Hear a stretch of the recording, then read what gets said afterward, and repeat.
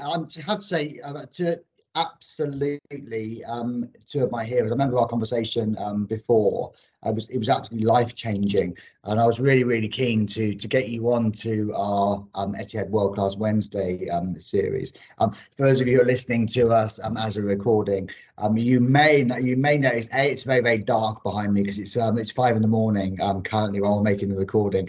Uh, I think Bruce it's eight p.m. in the evening, and I think Lisa um it's six p.m. in the evening. So they're on each of the the east and west of the United States. Um, and obviously we're in uh, in Abu Dhabi listening to these guys, but but first of all, um, welcome to the World Class Wednesday. Um, it's an honour and privilege to be talking to you guys. Let's let's start with a couple of introductions. If I go with ladies first, so Lisa, perhaps you could tell us a little bit about yourself before we get started.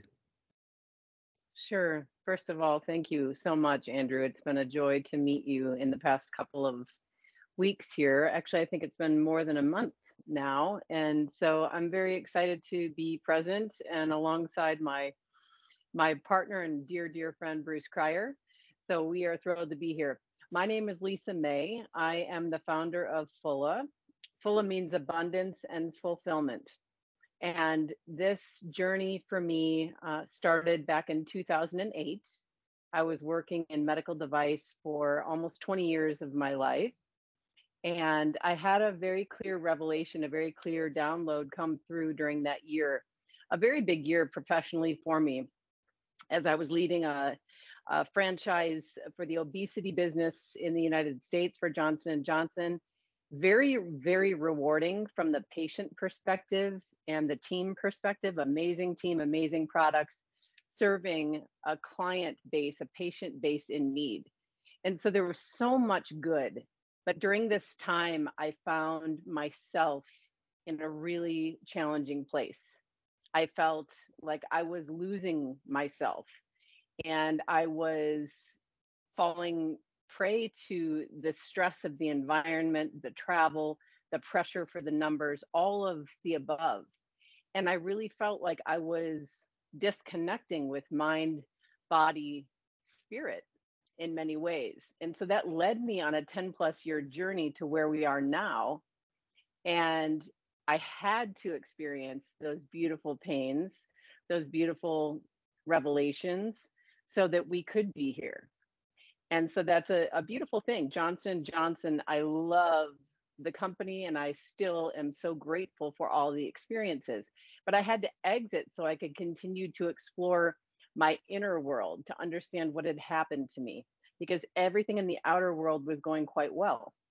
And so it was um, perplexing to me, to say the least.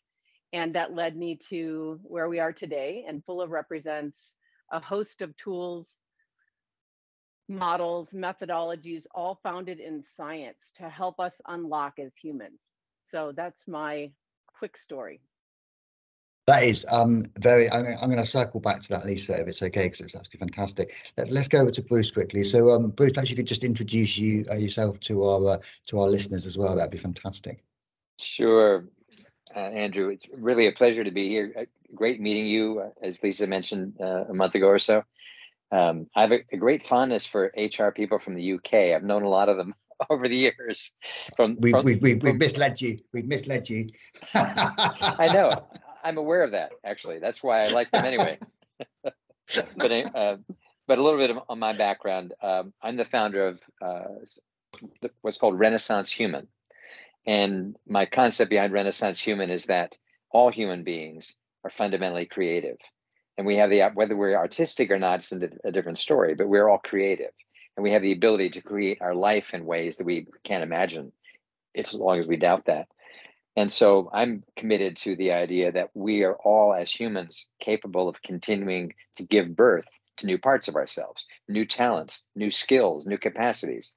It doesn't happen only when we're young we we believe because of society that it kind of wanes as we get older and then it stops. And god forbid you should have a a, a thought about your career in your mid 40s or 50s and people will accuse you of midlife crisis and when in fact it's probably just something trying to be born in you that's new and maybe different than what you had been before. So why i've been interested in something like this is there's several reasons. I am kind of a lifelong uh, personal development and health junkie in a good way. and been in that field for a long time. My first career was as an actor, singer, dancer in New York. Uh, it was a fantastic five years of singing and dancing and acting and in wonderful shows and a few un- unmemorable TV commercials and small films. Uh, but I had a, I, I found a great love of people actually in learning how to perform and um, share my heart through performance with people. But at a certain point, I thought, I want to work directly with people, not just playing the role of somebody who is able to entertain people. How can I help them uh, when the, the wonderful buzz of the Saturday night show in New York City has waned? What do they do mon- Monday morning at 9 a.m.? And I started on a journey uh, in my in my 20s to explore that first of all by learning to grow myself and the journey took me into many uh, fields of publishing and uh, nutrition and marketing and i found a love for business and uh, i was very fortunate that in 1990 i was asked by uh, the founder of an organization called HeartMath to become one of the founding directors and part of the leadership when the organization started. And i stayed with that company for more than 20 years. I was ceo for about 11 years. And while many of your listeners, the, the folks of Etihad, may not have heard of Heart, HeartMath before, it's developed quite a sterling reputation for science-based, you heard the same term as Lisa mentioned, a science-based approach to human performance, stress management, uh, emotional well-being. And so I became very much part of that, leading the efforts, especially leading the efforts in the corporate world. Um, one of my clients, is, as you heard, was Cathay Pacific Airways. And we had the opportunity to bring these very scientifically based tools into the flight crews of Cathay uh, worldwide. And so uh, I had a, it was a wonderful journey. And right around a similar time as Lisa's uh, shift, uh, I had mine, and I got sick. And it was a series of things that had me um, I didn't ever feel I was on death's door, but the term life threatening was used a few too ten, few too many times for my comfort for my comfort yeah. level. And and here I am, 13 years cancer free, 12 years uh, staph infection free, uh, coming up on 12 years with two new titanium hips. Thank you very much. And uh, wow. so I, I went through all that, and there were some family issues. My mother passed away, and my marriage was ending. Other than that, you know, no big deal. Um, but part of what that showed me was that while I similarly was working for an, an incredible organization, HeartMath, that I felt completely identified with and loved the opportunity to travel around the world for continents, teaching and training and working with leaders and organizations of all kinds and shapes and sizes. Still, uh, that that series of illnesses and personal issues made me reflect and think there's something next for me.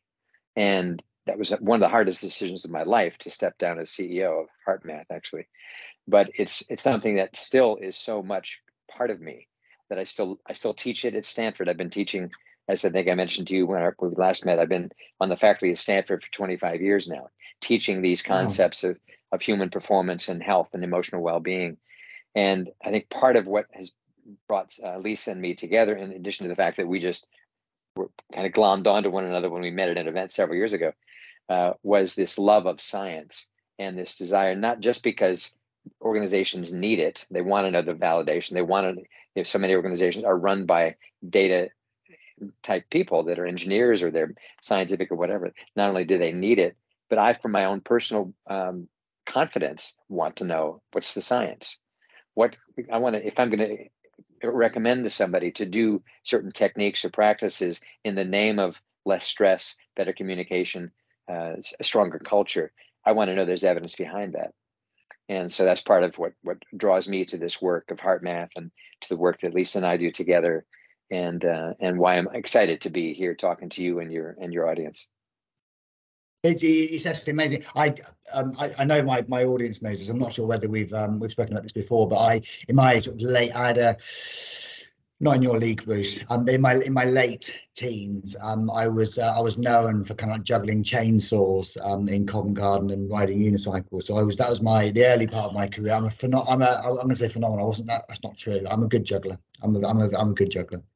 Um, okay, okay, but, juggling chainsaws. That you got me right there. That in Covent Garden. In Covent Garden, yeah.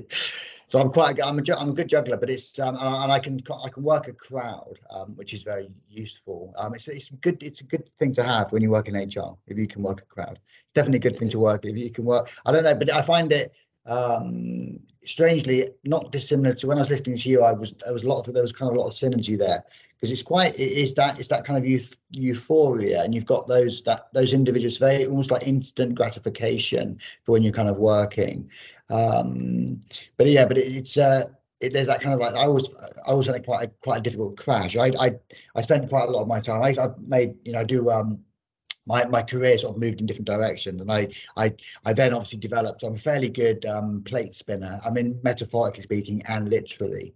Um, I'm quite good. I, I I also do quite good plate spinning, which is always fascinating. People get very frustrated with me with plate spinning because I think even plate spinning even more than juggling because when you if you saw me spinning a plate, you just go that just doesn't make sense you know it just doesn't make sense um, wow. and then and then and then and then they, they just say well i must be able to do that then I, have obviously missed something in my life and then i try to do it and it, obviously it's catastrophe um, doesn't doesn't tend to work which is i think quite interesting but then i've also i then my when my daughter was about five or six I think we went to a, a children's birthday party. By then, my my career had moved on a little bit. Um, to be fair, Bruce, and um, I was working with Hilton International at the time. But my my my my daughter was about five, and she wanted a, a balloon modeler for her sort of fifth birthday or sixth birthday. I think it was fifth birthday.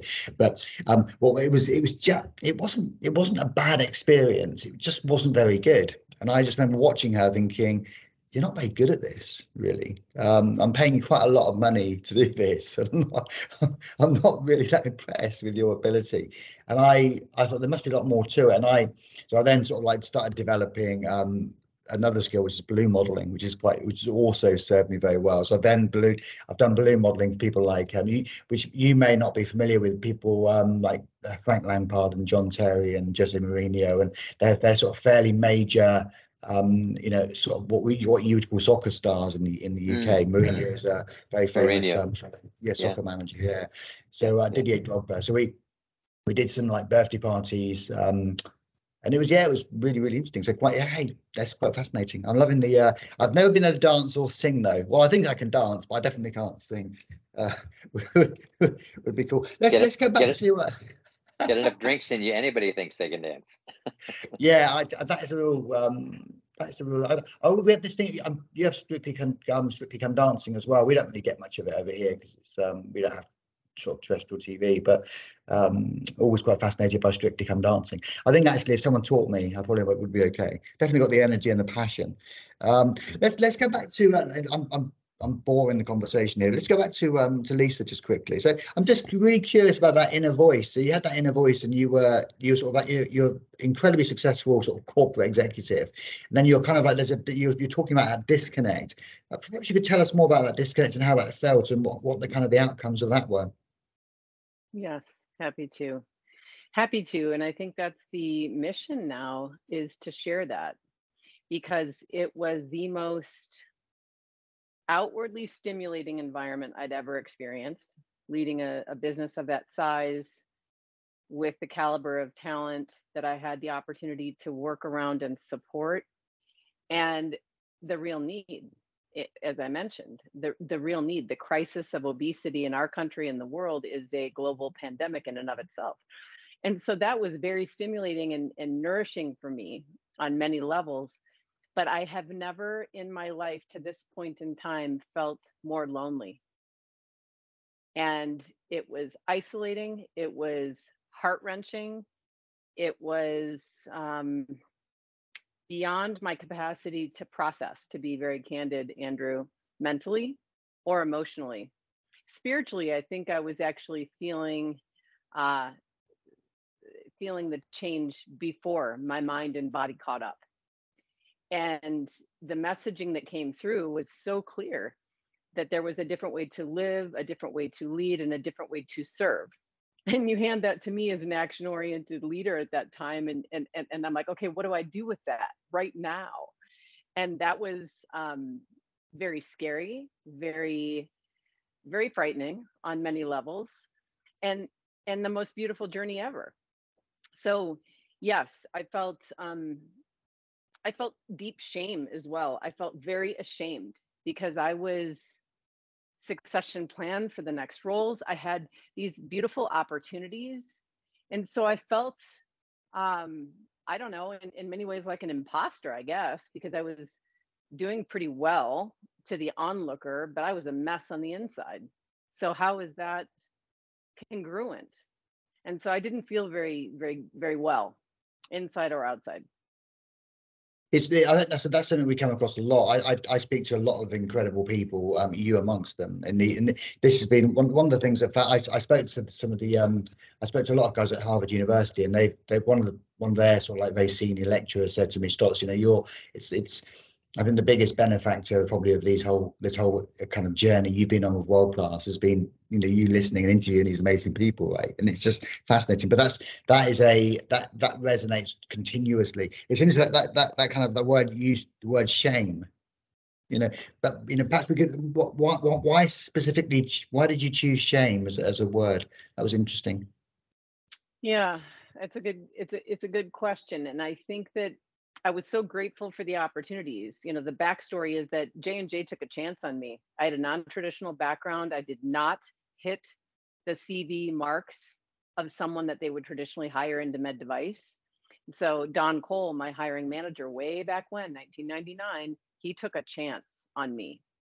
And so the reason shame comes in is because I don't ever want to let someone down that I respect and that I'm loyal to and that is very hard for me to make a decision to exit a situation or um, a relationship when someone has done so right by me. And and yet i knew in my heart i knew in my soul that i needed to make a different choice for me. And that was the shameful part. It was uh, you know tending and leaning toward guilt actually not just in the professional realm, but in the personal realm. What ensued later were many, many incredible changes in my life, which were inc- very, very difficult decisions to make. So that shame guilt um, theme stayed with me for much of the 10 plus year journey. And uh, that's also a big teacher, a big, big teacher to the work that I do now. Um, because that heaviness and that weight of shame, blame, guilt are hard to hard to carry and they actually steal what Bruce was talking about. They steal our zest, they steal our creation, they steal our inner voice. And I'm not saying not to honor them and to feel them, but my light was turned down so, so much by those emotions. Um, so I'm, I'm grateful to have processed through them to a great degree. But um, my goal now is to help people move through those things faster it's, it's weird because I, I, have that, um, and, and everyone who listens to this, I mean, I, I, we, we always talk about it. I have that kind of inner whisper, constantly that that constant inner whisper that tells me I'm not good enough. You know, that's a that's something I live with every single day. I try to I kind of try to block it out, but it's a it's a very interesting one, and I think it's that that also I work obviously working in the aviation sector is very fascinating for me because I'm I, am pretty good. I mean, we may have discussed this before, but I'm really good at. I can make you know nice coffee, cappuccino, and I think my my kind of history before coming here was with Starbucks and with um, sort of more kind of like retail high street fashion. So then moving into aviation was quite a challenge, and it didn't really help my um, inner whisper when I first arrived in this organisation because there was obviously a lot of questions around um, who I was, um, and I, I had someone who was quite quite obviously had a very um, you know sort of positive sort of you know promoter within the organization which is really good who was also very very influential which kind of helped me definitely in the early days. But it was quite challenging because a lot of people you know just looking at me kind of going what the heck have we hired in the organization? He's never worked in aviation before. Um you know who is this kind of um who is this bloke? That i i when i'm listening to you i you you it really um everything really resonates. Um, it's Lisa. It's really fascinating. And what's I think what's really fascinating for me is because when I then the way that you you you manifest, and I know this is probably sort of post that um that kind of journey to a to a degree, but you you you manifest as very you're very you know very eloquent, elegant, you know, beautiful human. Um, it, st- it staggers me that someone um, who would kind of manifest and appear like that um, would have those kind of inner sort of like questions and those kind of that that that um, that challenge around being um, uh, not not not genuine, but definitely that that kind of imposter syndrome. It's it's really fascinating, really fascinating. Let's let's come over to um to, and thank you for sharing, um, Lisa. Really um incredibly grateful for that because I think that's one of the challenges. We work with a lot of action orientated leaders, right? I mean, I definitely work with a lot of action-orientated leaders, and it's all it's always kind of head down, and they just they're focusing on the end game and all that kind of stuff. And I definitely we do we do a lot of testing with those people from a psychometric point of view, try to understand them, and, and most of the time they we sort of we we can sort of see that they're kind of you know, the word I would use is probably creaking a little bit. You know, they're, they're not quite performing on their A game. They might look like they are, but actually inside they're kind of doing quite a lot of masking, um, which is quite fascinating. So, Bruce, talk to me about um, this kind of managing sort of like performance and I'm particularly interested about the data and how we understand all the science behind um, managing performance. Well, as a performer, I've been really intrigued by this idea of how to improve performance since I was a young man, uh, quite literally. I mean, I, I was studying yoga, I was studying meditation, I was studying Tai Chi as a performer because I saw these as tools that would might give me an edge so that I would get hired for that show instead of the other 5,000 guys. We all we all looked like Jesus in my day because we were all it, it was all kind of rock musicals going on, so we all kind of had that look. But what would they? Why would they hire me? So I was always interested in these things to improve my performance. And as I got to study psychology more, and even uh, 40 years ago, some of the new ideas around what human consciousness was capable of, what the brain was capable of, I was drawn to that like bees to honey. I mean, I thought this is I've got to learn, I've got to understand about this.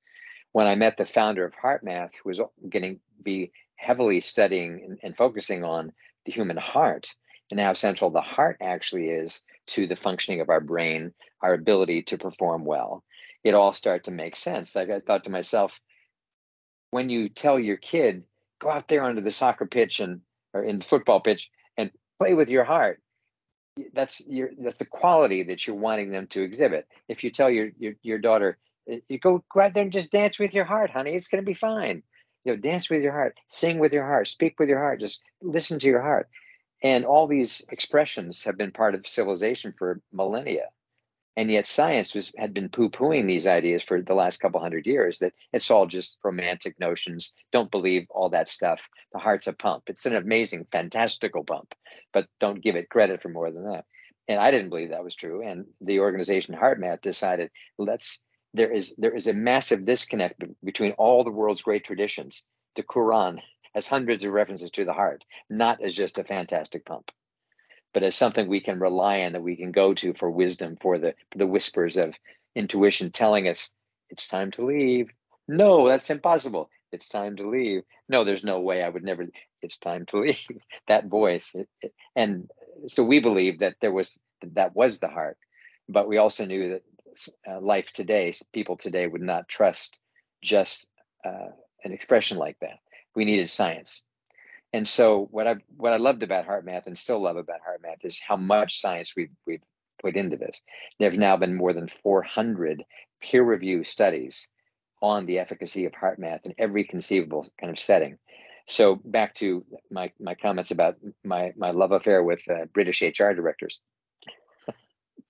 perhaps I'm overstating the case there, but I, have had a oh, no, of we're loving, no, we're, we're loving it. We're loving it. We're loving the, the brotherly. Good, excellent, yeah, good. Yeah, no, please, think, think, I know, I know quite a few um sort of senior HR leaders in the UK who would love that, love the sentiment because they're pretty much vilified. You know, I think we, I think we tend to be sort of we're, we're on the dark side of the force. I think. right, right. So, as I mentioned to you before, and I think I sent this, I sent you this article. Uh, I, I had the opportunity to write an article around executive performance and health and stress and the connection between the three, based on research that HeartMath was doing with senior executives from Shell in the UK, from BP, from Unilever, uh, later from Cathay Pacific, et cetera. And the article was all describing how the performance of an executive cannot possibly be separated from their mental, emotional, and, and even spiritual state. Right. And so the, the particular article that I, that I wrote followed this uh, this leader of a, of a UK oil company. We didn't specify which one, but there weren't too many choices.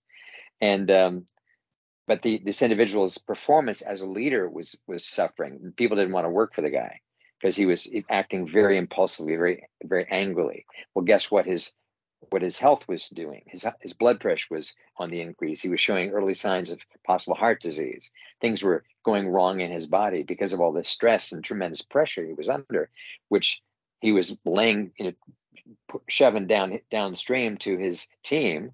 And of course, what was this doing to the quality of his late relationships, family life, etc. And so we came along and said there are some very specific ways you can start to take control of the physiological mechanisms that underpin uh, poor decisions and uh, aggressive behavior and things that were ruining him as a leader and also ruining health all at the same time. And we'd done by the time we wrote the article, which was came out in 2003, we'd already been at this for more than a dozen years. So we had a lot of data and a lot of stories and a lot of case studies. And so the, the but the link was very clear that as you can learn how to regulate oneself, and as, as Lisa says, un, that what happens is you that you're then unlocking a potential to perform at a much higher level that you didn't think you had because as long as and for so many of us as leaders we feel completely overwhelmed by the amount of pressures on us, the amount of things we have to do, managing up, managing down, managing sideways, all these things that go on. And it feels an impossible situation. There's no hope, and I couldn't, I'm doing the best I can. Don't you understand? I'm doing the best I can.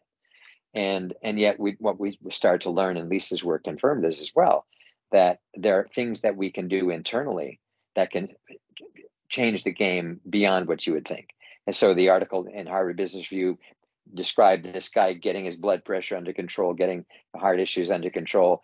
He began to listen better because he was he wasn't so unregulated to be aggressive all the time and and, and, and making bad decisions too too fast, all that stuff. He was now listening better. That improved the relationship with his team. He realized I have a bunch of smart people here. Why am I yelling at them all the time? You know, all that was happening too. So the story just got rosier and rosier. And so that's you know, in, in essence, kind of what we learned was that there are things that we can do that are not hard to learn. They take practice like everything to get that you need to do to get good at. It's not just a magic pill, but uh, wish it was, but um, it's not. So, but as we practice, we get better and better, and then of course you can transfer that to others and help others grow and and all that. So, to me, there's an exciting uh, dimension of the connection between managing ourselves in ways that are meaningful and real and tangible and very action oriented, very, you know, I can do this tonight. I can do this breathing technique right now. I can think of my my life right now and say to myself, what can I be grateful for? It's obvious what I'm pissed off about, but what can I be grateful for right now? And uh, our research showed that's a game changer in your body. That's a biological major shift that happens when you start to do stuff like that. So there's there's so much evidence. It's it's exciting and I could talk for hours just on all the science behind it all. But it's it's it's cool. It, it, it, it's just I, I well to be fair I could listen to both of you for hours um genuinely I think it's uh it's testament I'm willing to get up at sort of like in the middle of the morning to uh to basically come and listen. it's actually a fascinating conversation it's you know it's it's it's how it always staggers me how quickly human beings give up I we we do um I teach hundreds and hundreds and hundreds of people to juggle, sometimes simultaneously, and we have. I mean, I can do about three or four hundred. I could probably do ten thousand, but we've got three or four hundred um, sets of juggling balls, which we we use in big conferences, and it's really fascinating. And it's it always amazes me that the human um, there's there's a point in the there's a point in the in our sessions where I run these sessions and there's this kind of moment where people are really kind of getting it and understanding it. It's all very, very simple. And then suddenly we kind of up the ante.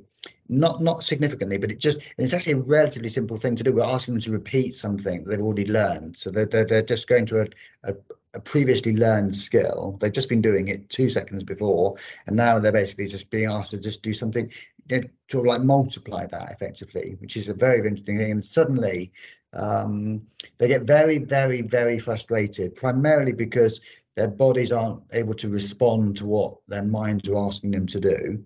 And there's some sort of deep, dark force. And it's great listening to, to Lisa about this because there's some this is this sort of like deep, dark force within those individuals as they're doing this that almost it's almost like a um, I'm not going to use the word I was going to say it's like a bit of like an exorcism. This this this this force takes over um, takes over their body, um, and then they're not able to do what they they want to do. They're not they're, they're physically not able to do what they want to do, which is I always find quite fascinating.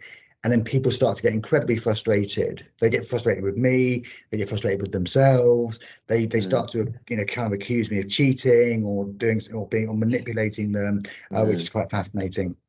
and then they just go into that kind of blame game um, about how they can't do it, and then they start having a thousand reasons why they could never ever throw throw a football, you know, because they're too old for this, or they're too young for this, or they never been good with throwing a ball, or they they, they struggled at school with.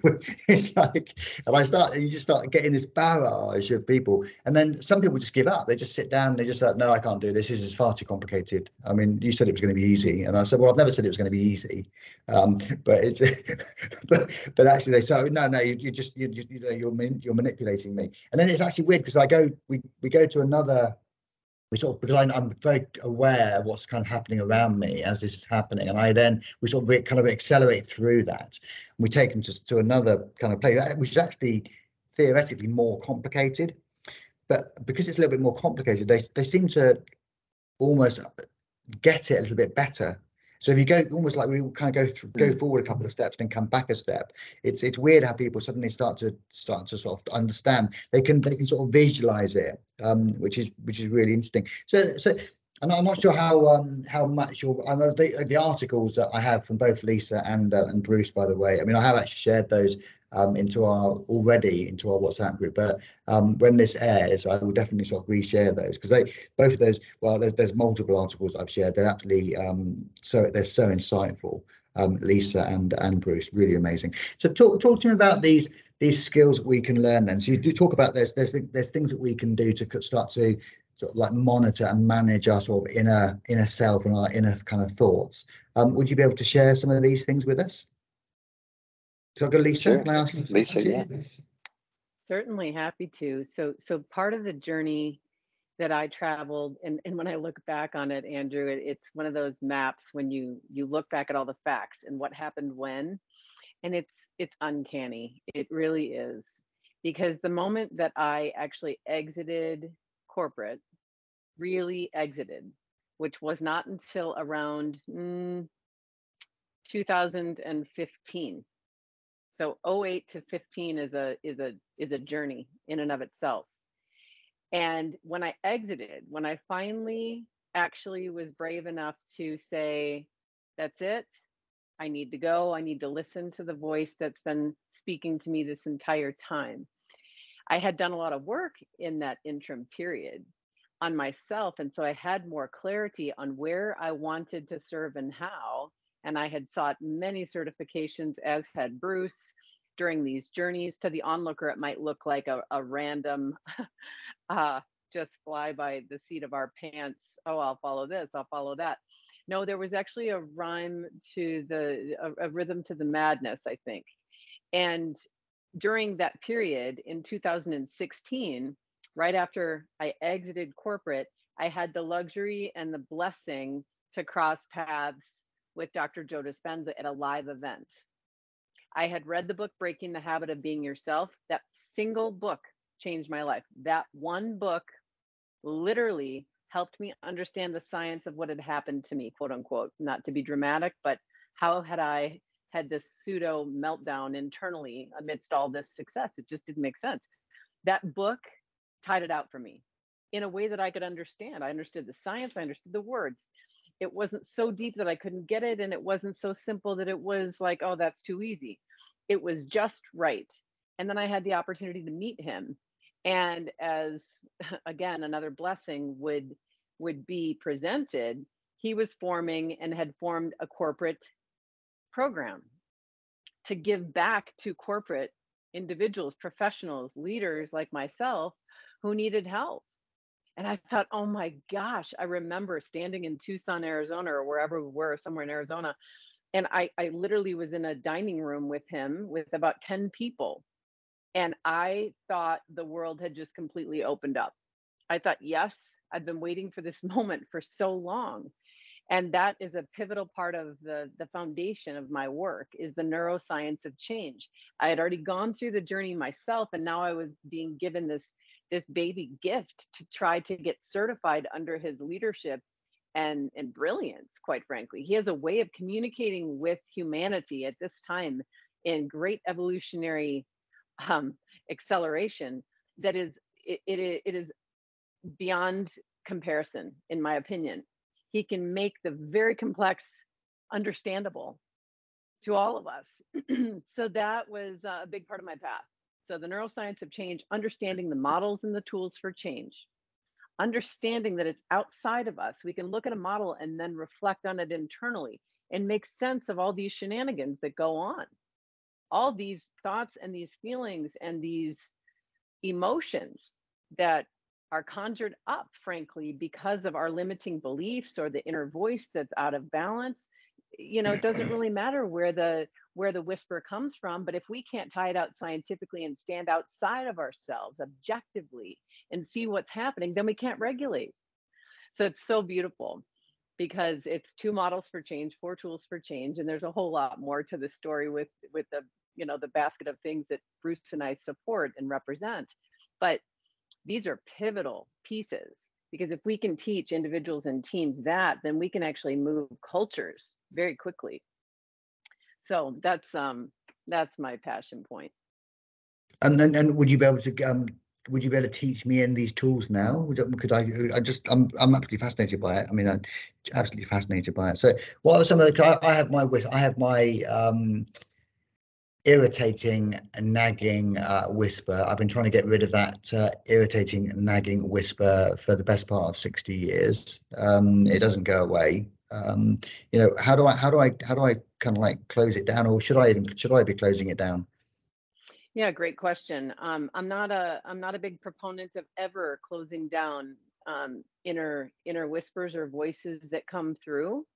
I think it's very important that we lean in and we listen, and moreover that mm. we we actually speak to that voice and say, okay, if it's a a voice that says, Andrew, you're not good enough, which is insane for me to actually hear that that's going on inside of your brilliant mind. And I am not coming from a place of judgment. I understand.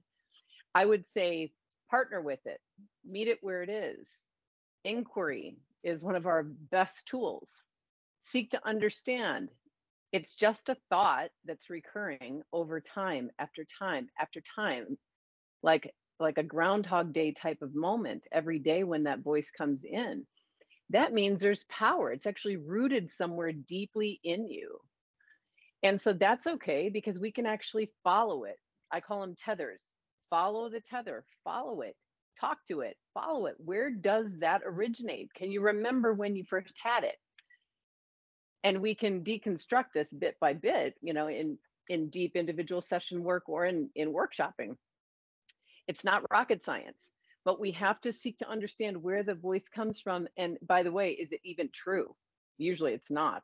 Usually it's something that we just implanted based on said circumstance and that stayed with us and so we can really get to the etiology of it or the origin story of the limiting beliefs, the limiting thoughts. And then once we become aware of them, we can actually um, migrate into the, the rest of the change model to make different choice.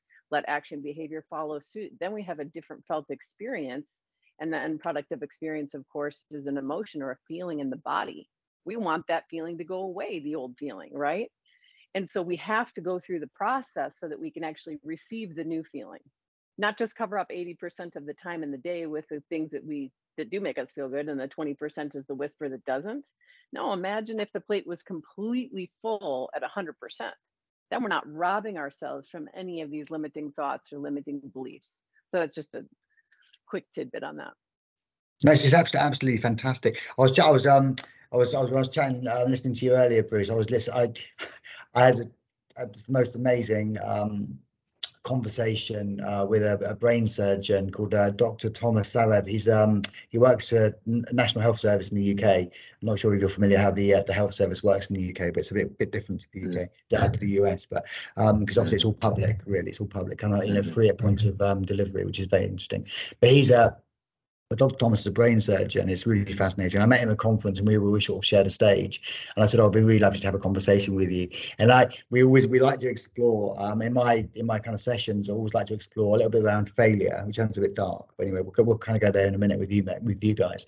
But it was um I, I said, Dr. Thomas, you know, when you know, so what what does what does kind of failure mean to you? And he and this my my world kind of changed because he said, you know what, Stoss, my the problem I have is I'm making a lot of commitment to mothers, daughters, fathers, brothers, you know, uncles, you know, friends about their, you know, their their their mother, their son, their daughter, whatever, um, who's got this, you know, terrible heinous kind of illness or whatever, and we're trying to sort of like solve it for them. And unfortunately, occasionally it doesn't quite go as we plan. You know, and, and the person sort of like passes um, in front of us, which is amazing. Um, and it's a terrible. We just don't know how to deal with it really. So we and I we we kind of explore that conversation. And I said to, "How do you deal with it?" um, Thomas. How do you how do you deal with that? And he goes, and he goes, well, I've tried lots of different things, lots of different um, sort of mechanisms to try and deal with it. Because the biggest and most effective one um, is actually getting a hug. He said, I just I I just kind of got to a point now where hugging is probably the best thing, really, because you know it's either hugging family or hugging my colleagues um, as this is kind of happening, because um, it's the it's the only way we can kind of really get through it. And I I was feeling a bit cheeky because I'm quite I suppose I'm quite a cheeky chappy, and I said to um, I said, "So okay, so we, we the conversation moved on a little bit." But what he then said was amazing. So I said, "Yeah, so Thomas, if you were gonna, um, you know, there's that kind of Mary Shelley kind of Frankenstein thing going on, right? Mm. And if you were going to build the perfect human, right, with your skill set, you know, I'm slightly fictitious, obviously, but you're going to build this, build the perfect human being. Um, where would you start?"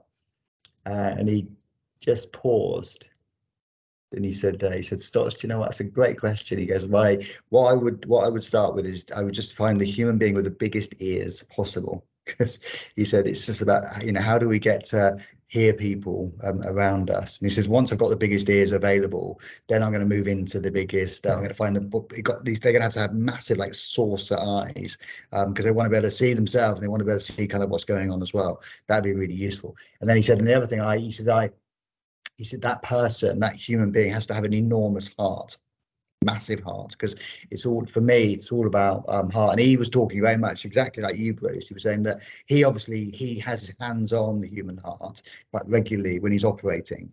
And he said it's so it's like it is a it's a great pump, but it's it's a lot more than that. It's a, it's obviously that whole kind of feeling stuff. So so how but but again we have a lot of naysayers out there, right? And what, so, what's the science to suggest that the heart is? Because I, I, I, we, we, we obviously do a lot of thinking with our, with our guts and with our hearts, and you know, play with your heart. What's the science behind the heart, and and, and why is it so emotional for us? That's a big question. Um, it's a actually, long question. I, I, I apologize. Yeah, I do apologize for the question. no, it's great. It, it, it's great. It's great. Well, as I, as I said, we have this intuitive knowing that the heart is somehow central. You know, it, every culture has done this. I've, I've done this this thing in workshops for years. I did it again the other day in West Virginia. I asked the entire room full of people, close your eyes now. Now that your eyes are closed, point north. And the 30 people in the room, their arms were going all sort of different directions. And I said, okay, great. Notice all we we're, we have no agreement here. Close your eyes now I said to everybody, now point to yourself. All hands did that, pointing to the heart. Now, were they trained by their parents? If somebody ever asks you to point to yourself, make sure you point to your heart. No, but they, I've seen, I've done this on four continents. 99.9% of all people point to their heart when asked that question. Point to yourself, they point to their heart. The, uh, the, the 0.01 points to their chin or their head, but 99% it's the heart. So there's this intuitive knowing.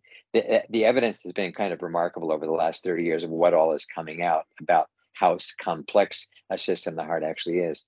Back in the early 90s, it was discovered by a couple different teams of researchers that there is a complex neural network of what, what are called sensory neurites, like, like things we used to call brain cells, but they're in the heart and they, they function as a network. In fact, they're so sophisticated, they are considered a little brain, and every human has one and it's it's managing affairs of the heart as well as informing the brain upstairs in the skull. And the heart's a hormonal gland. It produces hormones like oxytocin which is also thought of as the love hormone or the, the mothering hormone we used to think all hormones are produced in the brain not at all the heart's producing hormones too in fact 30 years ago that was discovered that the heart's a hormonal gland which is one of the reasons you can feel emotions here when i was when i was standing there for the birth of my daughter and the, nurse handed her to me. It wasn't my head going like that. I mean, my head was so foggy from how long a labor had been. my head wasn't doing much of anything. My heart was like, oh my God, oh my God. My heart. I was feeling it in my heart. And so uh, we found through think, through a particular branch of cardiology called heart rate variability that there is an absolutely moment by moment connection between our thoughts and our feelings and the actual rhythmic patterns that the heart is producing. And a simple way to explain that is somebody cuts you off in traffic and you can feel your heart racing instantly because you, you thought, oh my God, I was almost killed. I survived, but the heart's still racing. If we could see your actual heart at that moment, it would look like an earthquake. The pattern of what it's doing, it's all over the place, high speed, low speed, it's just just chaotic and disordered. What we've discovered in the early 90s was that not only is that true for all human beings, put them in a stressful situation, the heart responds looking like a chaotic earthquake type pattern. But we also found that ask them to focus on things they appreciate in their life, ask them to think about their dog, their grandma, their garden, um, a Christmas Eve, uh, you know, a, a sunset, whatever it may be, vanilla gelato, if that's all you can come up with, and just focus on things that you love. And the heart, instead of looking chaotic, it turns into this beautiful sine wave. And we learned that you can teach that very quickly. You can because we are we are as humans capable of sw- shifting our focus away from something into something more positive, such as appreciation. So what we found was that um, the idea of kind of repatterning the negative stuff is not as hard as as we thought because we all have the human capacity to stop and say, "Well, what do you appreciate right now? Do you love your um, your husband? Yes, I do. Do you love your grandma? Yes, I do. Do you when you stop to think about things like that, you are different. And this changes the pattern of the heart. When we also were learning that the heart not only has these these eh, complex little like brain cells in there, but the rhythm of the heart is being sent to every single cell in your body, in, including and especially your brain. So when the pattern coming out of the heart is now a smooth, efficient pattern, your brain is receiving that instead of receiving earthquake, earthquake, warning, warning. And so you know, smart people do stupid things when when it's earthquake time in the brain and you make bad decisions and you say things you regret and you're short-sighted and you even you lose physical coordination a lot of times. But as you learn to control that, we found through research that you can control that pattern by shifting your focus. And that has a global effect inside your body. And then thanks to current technology and uh, being able to measure the heart, the signal that's produced by our heart every moment, every single second that it's beating, that signal is electrical and magnetic. It's an electromagnetic signal. And that signal is not affected by the skin. In other words, it passes through the skin. So you can measure someone's heartbeat several feet away from their body wow. with current equipment that's found in every hospital in Abu Dhabi or Dubai or New York or anywhere. So that's a scientific fact. It's not some weird theory. It's an actual fact. And so when we realized that was going on, you can measure this this signal that the body is producing, the heart's producing, and that signal is changing depending upon our emotional state. It helps you understand. Well, some people you walk up and meet them and, and you just feel instantly drawn, and you say, "Wow, I just resonate with that person so much." Well, probably you guys were, you know, there was a, a kind of a mutual admiration thing going on there, and felt so great to be around them contrasted by you can also be around somebody in a frustrated state, even not showing it outwardly, and you can feel like, wow, I think I need to steer clear, kind of thing. So HeartMath put the science to that and said, yeah, that's not just your imagination, it's not just gut feeling, whatever that is, but it's actual science that we put out a different signal physiologically from our body depending upon the emotional state that we're in. Therefore, why don't we learn how to regulate that puppy so that we can be at our best. And as leaders, you know, one of the things I realized when I was kind of going up the scale, kind of similar to Lisa's story, I, I found myself in jobs and thinking if, if they actually looked at my resume, which had no business experience for quite a few years, it, it had acting experience. Like how how was I possibly prepared for for these roles? You know, based on my okay, you did 800 performances in a long running musical in New York, and how does that affect your ability to do marketing? Like okay, well, you had to market yourself. Well, that's kind of a stretch. So, uh, but anyway, it, it, it's it's to me, it's there's there's so much I could so much more I could say about how easy it is now to detect the changes in the heart. But the the, la- the last thing I wanted to comment on too, I think, is that when you think about whether it's that uh, thought that you were talking about, Richard, uh, Andrew, uh, in your in your brain for years. Um, I think from the research of Dr. Joe Dispenza, who I have deep admiration for. I know him quite well as well. I've met him personally. I've attended. In fact, Lisa and I met at a at a week long event that he was holding right before uh, the lockdown began in, in 2020. I have deep respect for his work. And he and HeartMath have been partnering for quite a few years now. So Lisa and I have multiple reasons why we like working together because we are both fans of HeartMath and Dr. Joe Dispenza and find that the two sets of work really complement themselves uh, beautifully. But I think both organizations have helped us uh, help people understand that when we have had any kind of trauma in our life, and trauma doesn't necessarily mean abuse or something that was like a tragic, but just something that for whatever reason hit you in a way that you never kind of recovered from and you're still carrying with that with you. Well that is stored as a memory physiologically in the body. It's not only a thought that sounds very abstract even say a thought. Well what's a thought? Well a thought is a vibration. It's a frequency that's measurable these days but it's also emanating from a physiological reality that you have stored in your body. And so part of reason why these days, with the amount of stress people are under, we see people getting triggered. Like, wow, how did what I just said possibly lead to that reaction? Well, it wasn't your fault. It was they were getting triggered because of something that still is unresolved in their memory, in their uh, subconscious, in their autonomic nervous system. These are all the things that we cover in the work that Lisa and I do. Um, and it's no wonder that um, when times are so tight and, and, tough and so chaotic, that we would many of us would be getting triggered and being kind of shocked. I can't believe I just did that. Where, where did that voice just come from? But it's because we have had things that happened 60 years ago to us, and it never did quite resolve.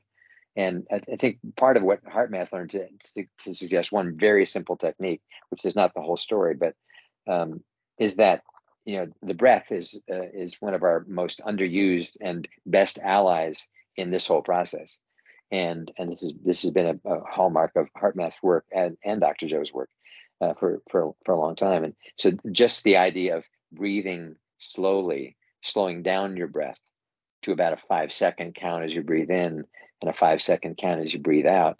And, and the way HeartMath suggests is to is to pretend you could be doing that through your heart like you're actually breathing in in and out through your heart, that the process of slowing down the breath and uh, being more conscious of what's going on, your your your biological systems are now working in harmony. So as they do that, stress starts to dissolve. It's quite almost magical. Just slowing down your breath, if you do that for 30 seconds or a minute, just that starts to release a buildup of tension, which otherwise goes on unchecked in most people most days. So as you just do something as simple as that, you start to the pressure cooker now. You're letting off some of the steam and letting off some of the steam instead of adding more fuel to the fire because well then they did that and then, then you know and so most people are in that loop of of one stressful thing cycling into the next into the next and then our our reactions are way overblown compared to what the severity of the actual situation was because our system is is tilting with all the the biochemistry of hypervigilant being ready to fight and uh, afraid they're going to be attacked and all that so these are the kinds of things that i think people can relate to and then and there are uh, any number of techniques not just that one i said but that's a very simple one that you can use in a meeting. you can use while the guy cuts you off in traffic and to get your system back in balance quickly. Okay, that just happened. I'm no good if I'm like this. I got to bring it down. I got to be human again. Okay, just breathe slowly through the heart. And that process, as simple as it can sound, is remarkable in its ability to just allow the systems to be back in sync as they're designed to be it's you know it's, it, I, there's this I, I absolutely love um, a guy called uh, Viktor Frankl. He's a brilliant quote, and he talks about mm. stimulus response. And I think it's I was yes. I, someone just stopped in a there's the the whole Abu Dhabi is, is bristling with cameras, bristling with cameras, and they, they, they, they, and I get notifications of you know I can be banned from driving within about two hours, um, which is and so you get a notification on your phone, all that kind of thing. And there's certain sort of obviously offences, and and I was um last week. Oh. It was a very horrendous experience because I was I was going through a set of traffic lights which were green, and the car in front of me just decided to stop um, in the middle of a junction on a green light. And um, was trying to. I'm not, not sure quite what her motives was for doing that. And I, I obviously I, I had nowhere to go, so I, I was then kind of stuck. And then of course the lights then went red, and I'm just thinking this has got like 17 cameras looking at it. You know, I'm about to basically now you know, lose my license, I'm gonna lose my car, they'll, they'll, they'll impound my car, all that kind of stuff.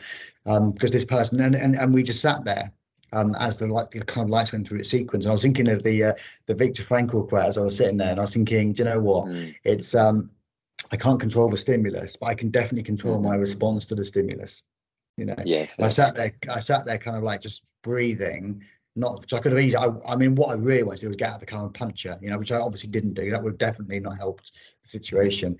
Um, but I, that was my kind of inner kind of thought. I thought, well, if if Frankl can basically deal with um, that kind of stuff, then I can definitely deal with it, which is um, which was really interesting. Uh, last question to both, and that's a that I love that I love the breathing, um, Bruce. It's been amazing. We've run out of time pretty much, but last question because I I think it would be a terrible sin if I didn't ask it. So, Lisa, just if I, we have a in in in the world class, we have a time machine. Um, it's a magical time machine.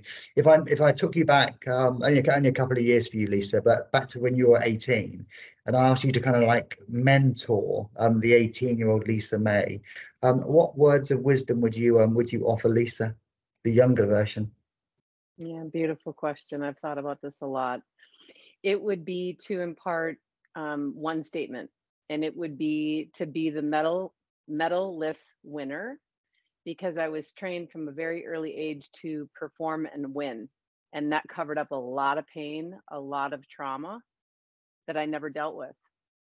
And the victory and the medal was the replacement for the actual dealing with the pain, with the stuff.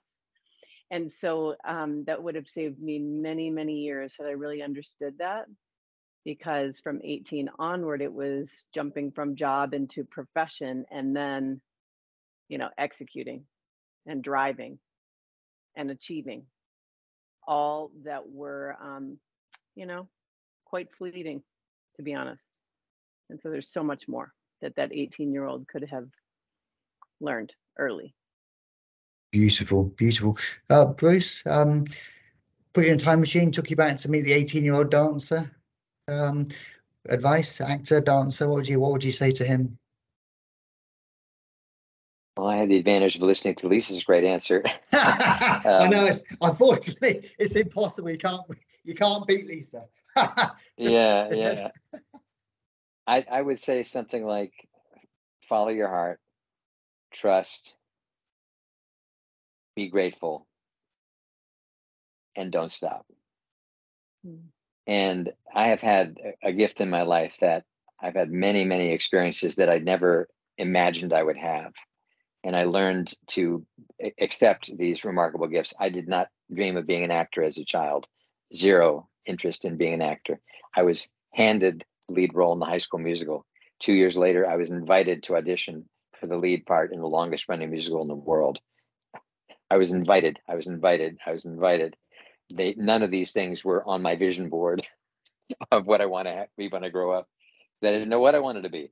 So I I I was kind of born with a, a bit of an ability to just go with something, to be, to be able to follow my heart.